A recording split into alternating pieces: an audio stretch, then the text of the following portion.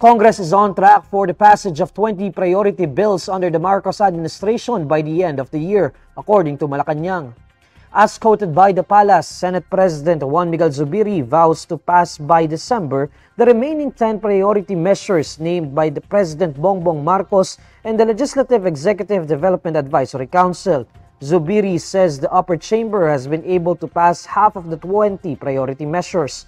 The Senate President also says lawmakers will pass the General Appropriations Act for 2024 by December as well. For his part, Speaker Martin Romualdez says the House of Representatives has passed 18 out of the 20 legislative priorities.